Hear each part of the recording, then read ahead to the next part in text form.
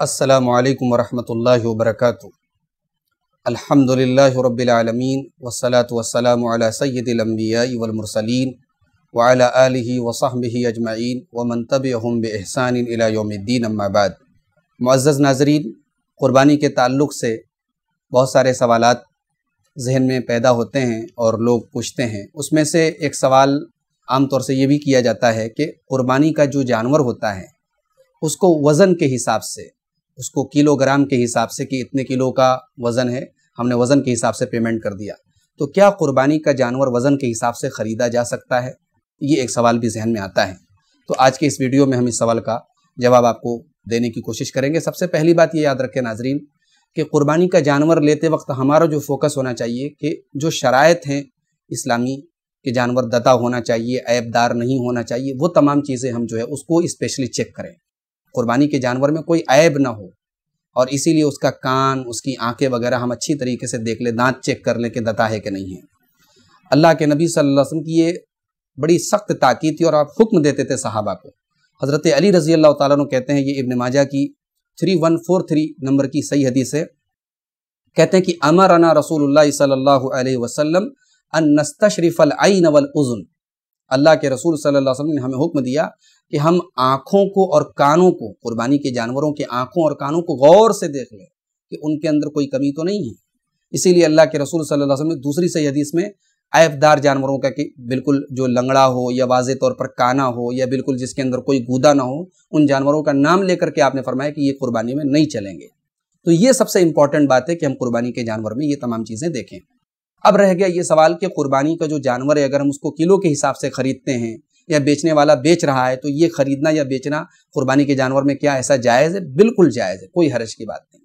اس میں کوئی ایسا اصول نہیں ہے شریعت میں کہ آپ قربانی کے جانور کو کلو کے حساب سے یا وزن کے حساب سے نہیں خرید سکتے یا نہیں بیچ سکتے۔ اس میں شرعی اعتبار سے کوئی رکاوٹ نہیں ہے۔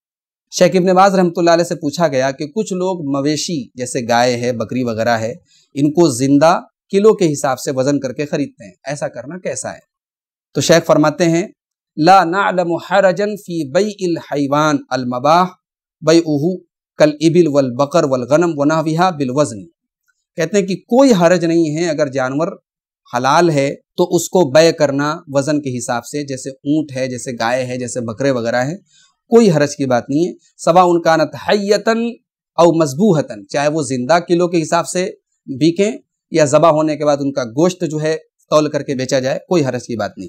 اس لیے کہ اللہ تعالیٰ نے فرمایا سورہ بقرہ کی آیت نمبر دو سو پچہتر میں وہ احل اللہ البیع وحرم الربا۔ اللہ تعالیٰ نے کاروبار کو حلال کیا ہے اور سود کو حرام کیا ہے۔ تو ظاہر ہے کہ جب کاروبار حلال ہے، تو کاروبار کی تمام جائز شکلیں حلال ہیں، ان میں سے ایک یہ بھی ہے۔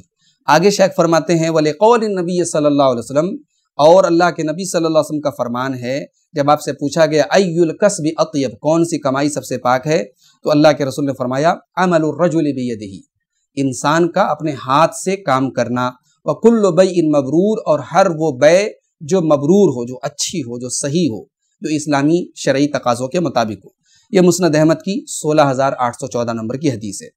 ولی ان نظال کلئی صفی جہالت ولا غرر۔ شیخ ابن باز کہتے ہیں کہ وزن کے حساب سے جانور کو خریدنے میں کوئی شرعی اعتبار سے جو عیب ہے یا جو رکاوٹ ہے کہ جب شریعت یہ کہتی ہے کہ جب ہم کوئی سودا کریں، کوئی ٹرانزیکشن کریں، تو اس میں جہالت نہیں ہونی چاہیے۔ یعنی ہم جو پیمنٹ کر رہے ہیں وہ کلیئر ہونا چاہیے، جو سامان ہم لے رہے ہیں، جو پرچیز کر رہے ہیں، وہ بھی کلیئر ہونا چاہیے۔ اگر اس میں سے کوئی ایک چیز کلیئر نہیں ہے ٹرانسپیرنسی نہیں ہے، تو شریعت کی نظر میں وہ بے صحیح نہیں ہوتی، اس لیے کہ اس میں جہالت پائی جاتی ہے یعنی کلیئر نہیں ہے۔ تو اس میں کوئی ان کلیئرٹی نہیں ہے، کوئی غرر، کوئی دھوکہ نہیں ہے، اس لیے وزن کے حساب سے جانور کو خریدا اور بیچا جا سکتا ہے۔ لہٰذا معزز ناظرین، قربانی کا جانور آپ وزن کے حساب سے خرید سکتے ہیں، کوئی حرج کی بات نہیں ہے۔ واللہ عالم ثواب والسلام علیکم ورحمۃ اللہ وبرکاتہ۔